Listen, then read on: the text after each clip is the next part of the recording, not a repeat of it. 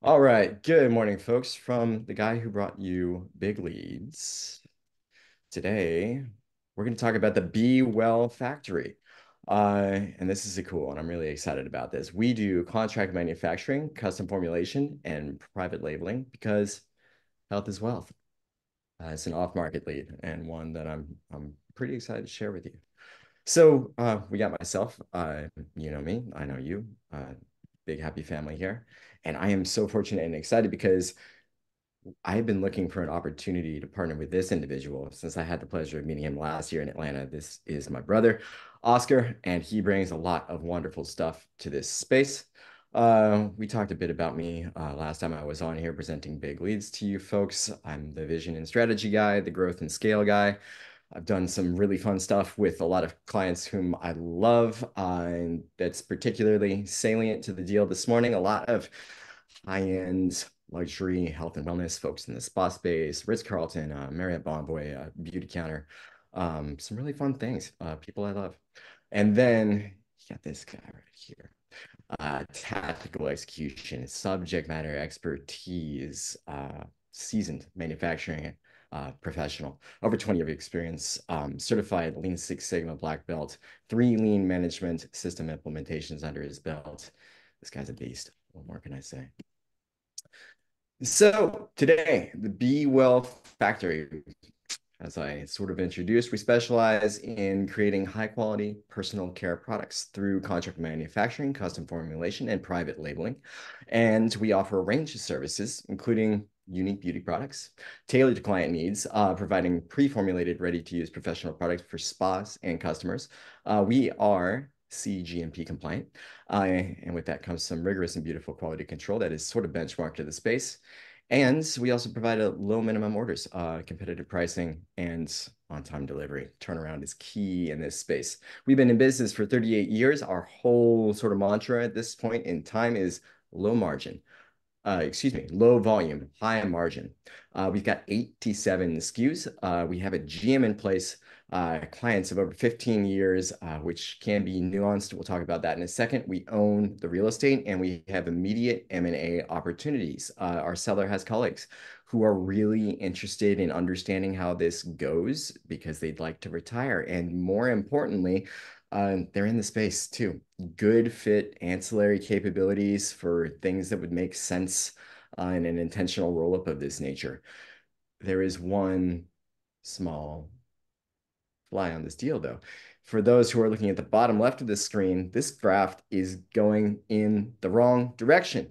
We just got to turn that around, just flip it. And as tempting as it was to just screenshot this slide and put it in in the reverse, it's not always that easy uh, in the world of business. But Oscar and I, we don't think it's going to be that hard. And we'll talk to you more about that. So the quick hits, our core business, um, customer base, sales and marketing, competitive advantages. We sort of went through a lot of this. Uh, this is really because I, you know, I probably just need a slide that does only the market analysis. That's this deal in the top right. Something that is worth mentioning, our seller really considers this business she considers it that we are in a very Goldilocks space, just given our size and given the nature of the industry. We'll go through some of those growth trends in a second. Uh, Oscar and I agree. It's sort of got a really niche Goldilocks appeal to it. And that sort of reflects when you take a little bit of a step back and look at the market analysis for other deals that are equitably sized in terms of team, location, reach, and revenue. Uh, we've got a few to the right, and it sort of gives that visual of, you know, where uh, we'd expect to, to play and win uh, when we think about the larger market and larger roll-ups. So the market overview, uh, personal care products growing at 4.3, uh, private label trends growing at 5.1, and the contract manufacturing space growing at 6.2. This is meaningful because it gives us a chance to really dial in where we make our money currently and where we might be best served to focus as we move forward. So a little bit about moving forward. We've got a growth strategy, four pillars that are really meaningful for the work we intend to do here. First, sales. We saw the decline in revenue. We saw that dip. That is because we lost two of our bigger clients. It speaks to a overly concentrated customer mix Um, but also to what our seller has quite candidly said, you know what? Sales for me is more traditional. It's showing up to all the the trade shows. It's going to meet people person uh, to person, face to face, person to person. I'm not even sure that's a thing. And I appreciate that, right? We appreciate that, that traditional approach to getting it done. This is a relationship business, and uh, Oscar and I believe it always should be. Um, but it's bigger than that these days. And our seller has been very transparent. She doesn't really get the digital landscape. She is the sales team. And because of that, her knowledge and where she's at with her thoughts to the business uh, they're sort of in that traditional mindset. She's been doing this for 38 years. And so she's really looking for someone with the energy and the charisma and the enthusiasm to come in and talk about things like social media, digital marketing, uh, what can influencers do for this space, um, new approaches, new leaderships that will help her see blind spots that she has not because of a, a, lack of wherewithal, but just because she's been doing it this way for a while. This is what she knows. She's been vocal. She wants someone to come in and sort of reveal to her uh, where else she could be working. So most immediately, sales. Two additional clients is going to drive revenue. Uh, and she believes to the $10 million top line. And she's been very vocal. She wants a buyer who can come in and kick this to 10 million. She knows it can get there. They were peak 6 million for a while. Um, so we'll talk about that more in a second. Um, we've got some clients in face, body, as well as private label that are positioned to serve as well. Marketing, we've got 87 SKUs, uh, but we're not doing as much as we could be with it. So we could better leverage our own private line through sample distribution and outsource marketing channels and networks. Uh, of course, this is front and center at the heart of everything we do.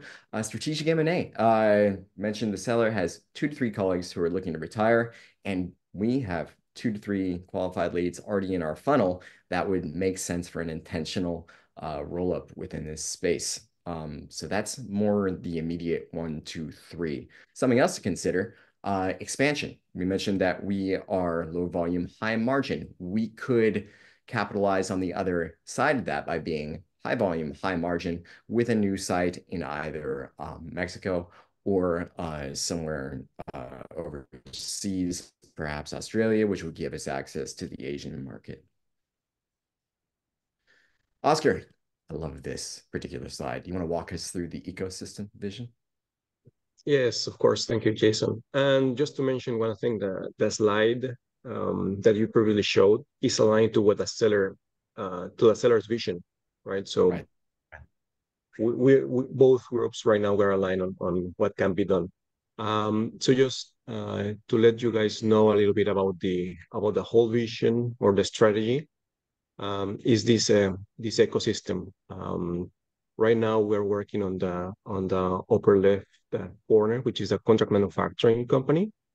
Uh, but we also have some ideas on um, acquiring um, a lab for product development one key item is that this company has their own lab for product development. So that's a, that's a good synergy there. And like uh, Jason was saying, there are two to three interested parties from the seller side. And on our side, we have uh, two another two to three other companies that we've been um, um, having conversations with that will be for the niche brands, right? Uh, and uh, one, one important thing to mention here is that the companies that we've been talking to, they they are between one to three million dollars revenue, and they struggle a lot with their contract manufacturers because mm-hmm. they they place um, a heavy load on MOQs and lead times, right? So that's why Jason is mentioning that we are in a in a in a in a very good position to supply those um, or that gap that these uh, small brands have, right? So mm-hmm this is the overall the overall vision, and um, and yeah, and that's that's what we're after. Love it, love it, and it's that kind of ecosystem thinking that really um, puts an element of flow into what you're looking to build.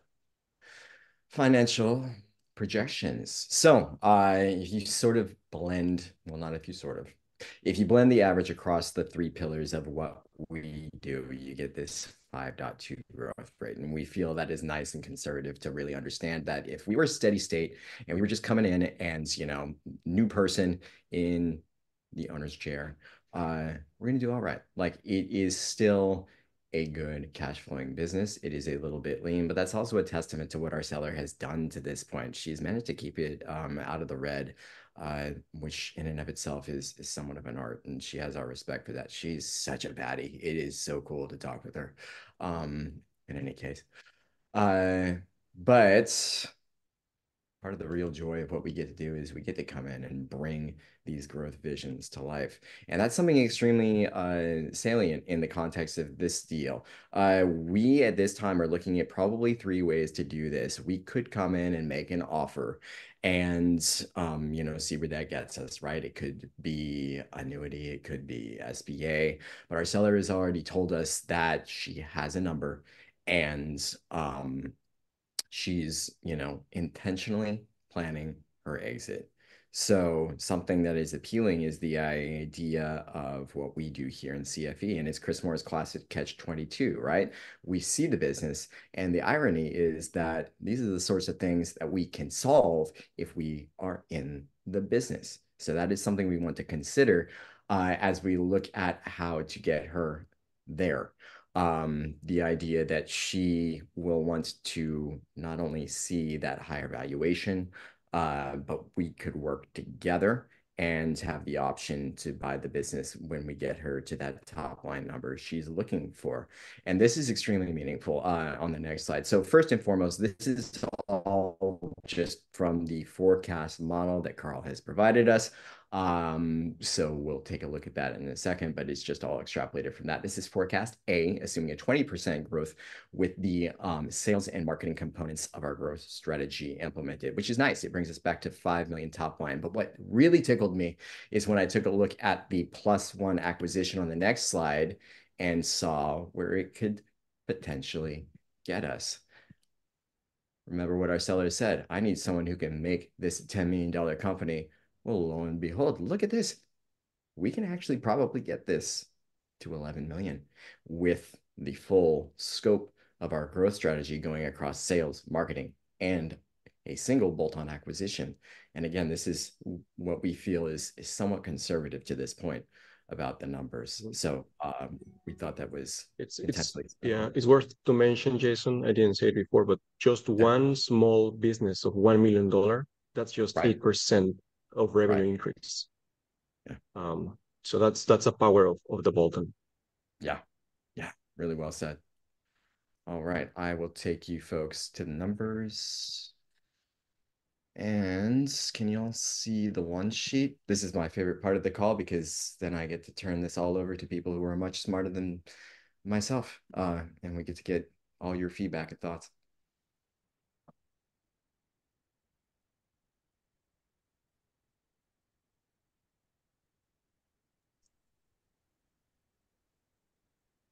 Either we did it great or we did it poorly, Jason.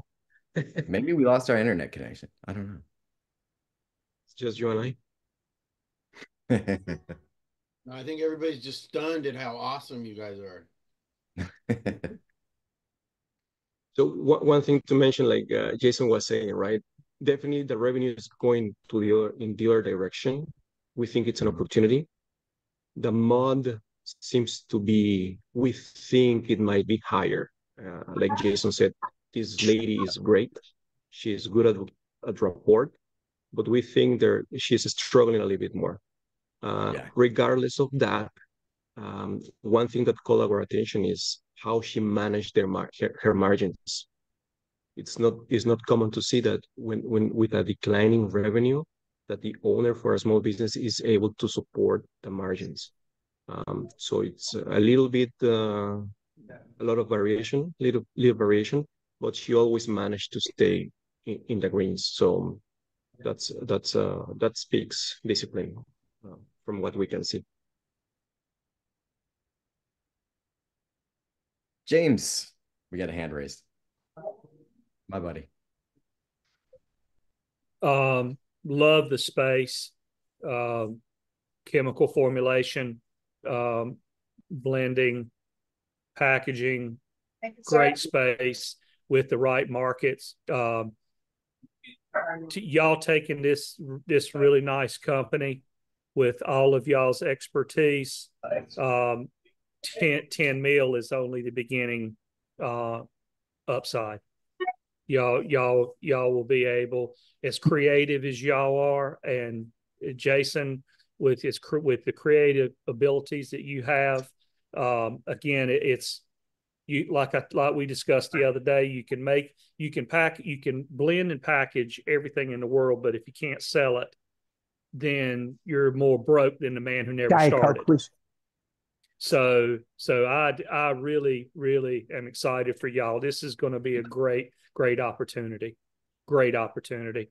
But just watch your cost and watch your again your raw materials. You just just make sure that all your um and your regulatory. She's kept this thing profitable in a California market in this industry. Um, I commend her because the regulatory side of it, trying to stand in compliance, uh, is is huge in this. So uh, I, I commend her. Y'all got a great business here. Yeah, Thank you. Appreciate that, James. And, uh, again, thank you for all the insight you offered on uh, on Monday's call too. You got some real sharp uh, visibility to this. So thank you.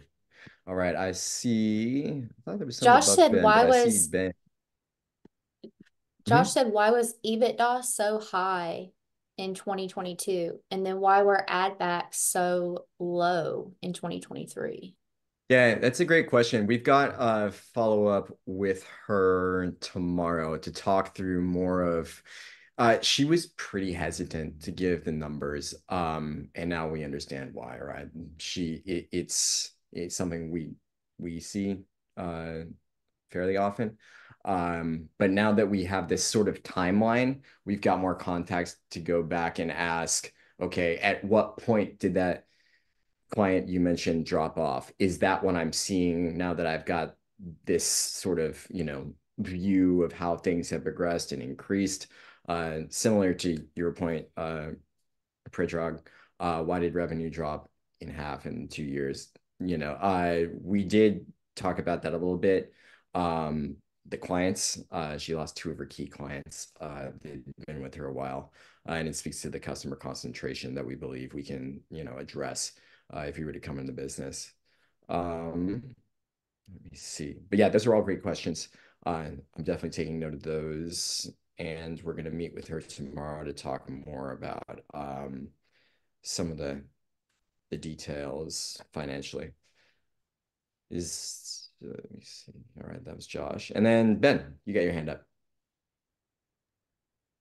Yeah, I was. Um, I love the space first of all because uh, product development is is super cool and it's fun to work on. But I was actually just doing somebody else I was just talking to somebody else uh, on, on who is a protege who has a similar business um, about formulations for like a natural toothpaste. Um, oh, are nice. you, you guys confident? Cool. I mean, other than I know you guys can run businesses well. How solid is their product development department? Um, as far as like going forward, or is she? I know she's big on the sales and the relationships, but yeah how's how's the back like the the production and um part of the business or is everybody on board to stay do they know she's selling yeah yeah. So they those are all great questions. So they are not aware she is selling but the team is strong. When we asked her about you know tell us walk us through your usps uh there were three and the first being product development. She's exceptionally proud of the team she has in place that allows her to innovate in the space, that allows her to really address uh, private labeling, uh, excuse me, uh, custom formulation needs for her clients. So um, I feel like I, I mean, we're hoping for a site visit sooner than later uh, and excited about that. But uh, I feel like there are good leading indicators that the right team is in place to address a lot of this growth. She speaks very well to the way in which she intentionally empowers folks to just really be their best. She's a, a really cool leader figure. Um, so again, I feel like that should stack up well for us. Uh, obviously, a lot more yeah. to discover. Is that helpful? Did it answer your question? Yeah, yeah. Um, also on on the uh, seller notes, your biggest threat being the market supply chains, etc. Is that do they manufacture here in the states and then, but the but the materials come from elsewhere, or hmm. where's the majority of their manufacturing coming in? How how are you gonna address supply chain issues? Yeah, Oscar. Yeah, I mean that, that's or... also a, a very good question. Yeah. Um. So actually, we're gonna have our second um, meeting tomorrow with the seller, and all those questions are are key. And certainly, for us to move forward, we really need to do a, an on-site visit, right? Um, so I'm expecting to to be able to book something tomorrow or start uh, guiding the conversation towards that. Now, regarding the um, the supply chain, um, I mean, definitely, as an ops guy, I can tell you, we must have at least a dual source, right? So regardless if the economy is booming or if it's going down, you better have that. So that's that's going to be one of the items that we need to consider for the transfer of value, right? Uh, the dependency on on your suppliers. So that's that's still something on on our action item list. Awesome. I I think you know this this has good potential, and you don't want to buy a perfect business. You want to buy one you can improve. So this is super mm, cool. Exactly. Yeah. Good job, guys. Although I, I don't know if someone offered me a perfect business, I'd think about it. I I'd, I'd definitely consider it. All right. Uh, for the right price. For the right price, yeah. For the right price, yeah. For the right price, for sure. Gerardo. Hi guys, thank you. Uh, congratulations. I, I love this space. I love the private label and the white label thing. Um, my only some thoughts that I have is uh, one, um, you have to think about other sources of volume or other sources of revenue. I think potentially you're thinking a little bit unilateral on this thing. There's many other ways that you can grow this business without having to depend on big clients. You know, potentially you can build uh, smaller entrepreneur brands, you know, and that type of thing. Again, we mm-hmm. can talk about it later. Um, the, the, another question that I have you were talking about Mexico, and you know I'm from Mexico originally, and usually, you know, Mexico, Colombia, and all that provides uh, high margins. But if you're talking that you already have 58, 55, 53 gross margins, mm-hmm. you know, I don't know how much you're going to gain from building a plant there. Potentially, you can you can hire a third party manufacturer down there I know one of the biggest uh, private label producers in Colombia. So mm-hmm. potentially it's more about finding a supplier there than building a plant or establishing a plant. Um, yeah. And I and I think you potentially uh, need just strategic thinking behind okay how do we grow this thing beyond the current set, you know, of, of clients that she has or or mm-hmm. target clients that she has because I think there's there's a lot more to give on this side. Even MLMs, you know, I mean, the, mm-hmm. I mean, I think the, the opportunity is great. You just have to really sit down and say, okay, thinking out of the traditional, where else can I grow with this, you know? that that's sort of just my thoughts and you know i've done i've done these things before and if you want to reach out i will be more than glad to talk to you. But i think it's it's more on the yeah, strategic than just unilateral thinking on the same path that she's taken so far. That's yeah I, I, think it's really well said. Yeah, i i yeah I, agree that there is um oh shoot i lost it uh this is all somewhat admittedly surface level to this point, right? The the opportunity is really to get in and move beyond to your point, being unilateral, the things that have been done, the things that have been proposed, because that's part of what she was relaying to us as one of the concerns, right? I've been doing it 38 years. I need you to expose me to things that I haven't yet considered. And part of that is that deep and meaningful conversation where you really pull it apart, where you're able to listen. So um, I think that's a really good point, and I appreciate you saying that. Uh, and the only thing I didn't get very, very clear if she wants a partner, if she wants to sell part of it, exit. I mean, that's the only thing that I didn't understand fully. Yeah, that's a great one. And I think she lacks that clarity as well, which is where we have as protege a real advantage because we come in with that expertise to not only just tell her what we know about this vertical, this space, but how this all works. And we have a lot of latitude here to suggest here are the three scenarios and gauge her thoughts. Uh, I think the thing that stuck with me was on our first call, she opened up and said, I am strategically planning my exit. And I love that because that means we can talk about things like CFE. We can position the cash at close she would get now versus the difference in, you know, taking a full annuity across time. She's going to be able to see us illustrate what we intend to do through M&A alone and understand that ah, I may want a second bite of the apple. So I, I think it's going to be up to us to educate, as we, we often say. And I think we've got a lot of latitude to do that uh, with this particular opportunity. So we will see. That's a great point, though. All right, Victor. Hey, hi guys. Uh, great great presentation. Um, my question is, what will be the uh, plan of execution? Are you going to do a leverage buyout? Are you going to do partnering? Or are you going to be doing uh, annuity deal with her? What will be your plan? Yeah, yeah. I you don't think, have a price yet, so I. Yeah, that's right. I think just the way things are going, um, and you know, uh, we were talking about this as well.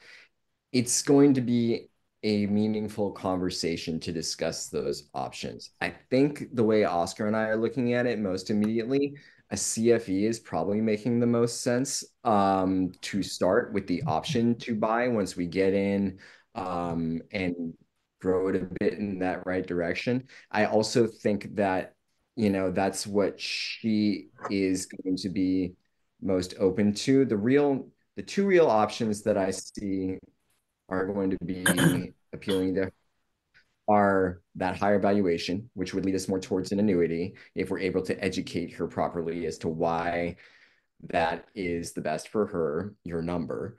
Um, and then we'll introduce this number, annuity, and we'll see if he with you along the way to get you there. I, in our heads, that's sort of, you know, the the progression to this point. Okay. But the nice thing is it good. really speaks to yeah, it speaks to like the art of creative deal making, which is exciting for us. It's a lot more than going in and just saying, hey, SBA 80, 90, uh, we'll go. There's a lot of room for that really rich conversation. So yeah. Okay. Nice. All right. Go for it. James. You, uh, one other thought, and Ben hit the nail on the head. Uh, you have uh, one of the most important parts of this after actually sales and your production and uh, quality control and all of that is is your product development. Uh, mm-hmm. Staying on top of that.